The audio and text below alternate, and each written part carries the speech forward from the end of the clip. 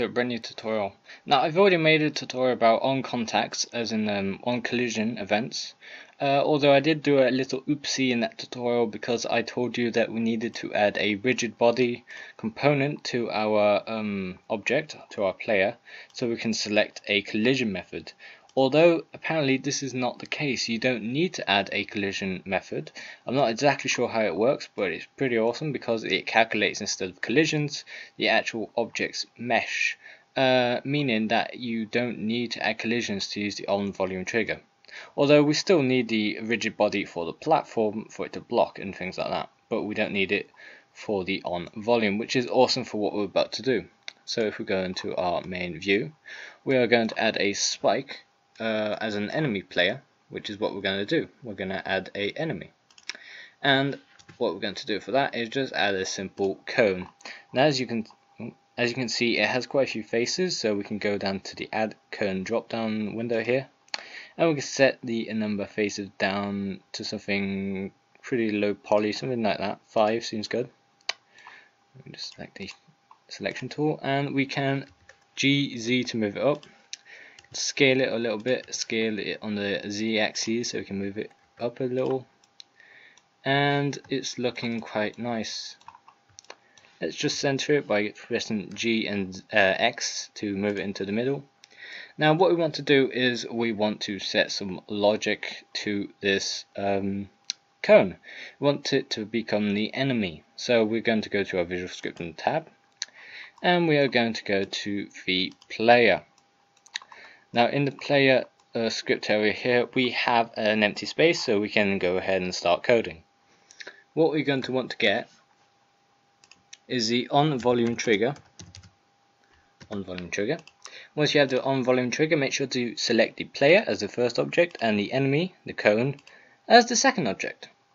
Okay, now what we want to do is we want to test it out. So we're going to do a set object invisible.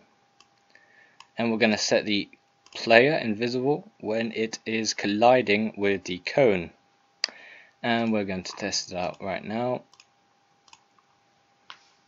And in a second you should see that we have an enemy player set up although there will be a few problems.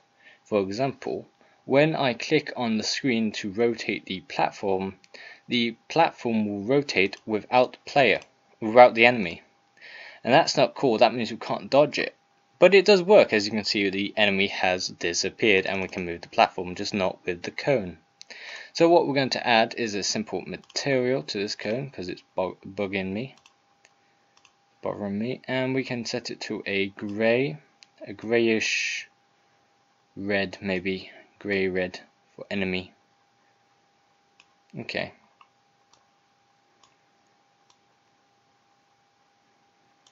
Alright and now we are going to select the cone press shift select the platform and now we're going to press control P to parent and we're going to press parent to object now once we have this, we should be able to rotate the platform with the cone rotating, with it so we have a possibility to avoid the enemy instead of instantaneous death.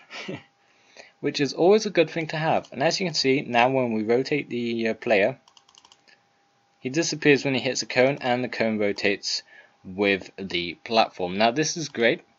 So uh, there you have a player control, um, an enemy um, setup that has a, an event output and we can remove the uh, player or we can set the player invisible and we can set the scenes set scene active set scene that we needed to find I'm pretty sure I did a tutorial on this already and we have to set this scene here and as you can see once the player is invisible we're going to set the scene active as in load the scene scene number one which is our scene, which is the only scene available. So it's going to restart the level. And to test this out, normally the player should become invisible and the scene should be reloaded.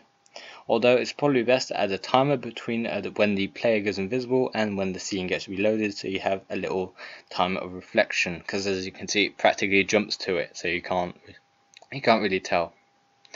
And we are done. So thank you very much and uh, as you can see when we restart the scene the score also restarts. Now the score is it isn't saved to any file yet. We haven't actually saved or been able to load the score yet. So it's just a, counter really.